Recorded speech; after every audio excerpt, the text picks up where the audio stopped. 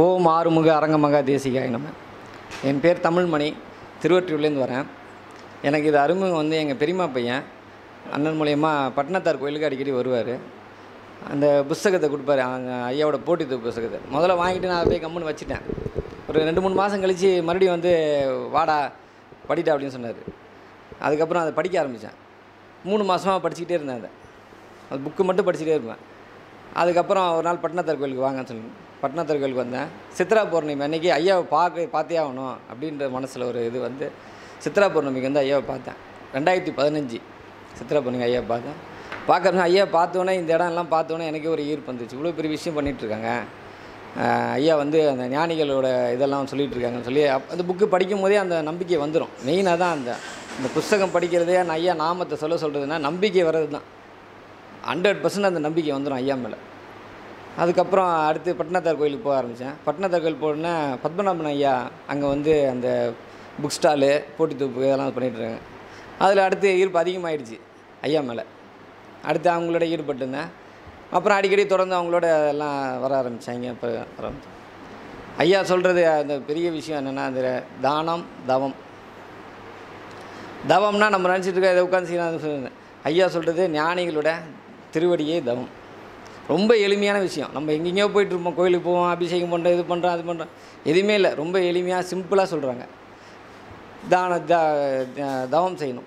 தியானம் தியானம் செய்யணும். இது ரெண்டு விஷயம் தான் நம்ம வந்து சொல்லிகிட்டு இருக்காங்க. அடுத்து வந்து ஐயா சொல்கிற நாலு கொள்கை அடிப்படை நாலு கொள்கை. புலார் மறுத்தல் உயிர்கலை தவிர்த்தல் தியா- தியா ஞானிகள் திருவடி தியானம் செய்தல் அன்னதானம். இதுதான் பேசிக் நாலு. இந்த நாலு இதே நம்ம கடைப்பிடித்தாலே நம்ம வழிமுறை வாழ்க்கையை வந்து கண்டிப்பாக ஒரு முன்னேற்றம் வரும். நிச்சயமாக இது என்னோடய அனுபவத்தை சொல்கிறேன் நம்ம லைஃப்பில் ஏதோ ஏதோ ஒரு பிரச்சனை ஒன்று ஒன்று இருந்தால் கூட அதுவே சால்வ் ஆகிட்டே போயிடும். அது அது ஒரு நம்புது ஐயா வந்து முழுசாக நம்புகிறவங்க ஒரு பொழுதும் அவங்க வீணாக மாட்டாங்க. முன்னேற்ற பாதையில் தான் இருப்பாங்க. அதில் எது சிறு சிறிதலும் ஐயம் கிடையாது. இந்த விஷயத்தை தெரிஞ்சுட்டு இதுதான் உண்மை. இதுதான் உண்மை தெரிஞ்சா இவங்களோட பாக்கிய சலிவர் யாருமே கிடையாது. இது தெரியல இதை விட்டு போகிறாங்க அப்படின்னா அது அவங்களோட வினை பயன் தான் நம்ம சொல்லணும். அன்னதானம் செய்த வ- தான் மனம் போன போக்கில் இருப்பேன். இது வேணால் செய்வேன் இது வேணால் போவேன் ஒரு கட்டுப்பாடு இல்லாமல் இருக்கும். ஒரு இப்படி தான் வாழணும் இப்படி தான் இருக்கணும் அந்த ஒரு கட்டுப்பாடு இல்லாமல் இருந்தேன்.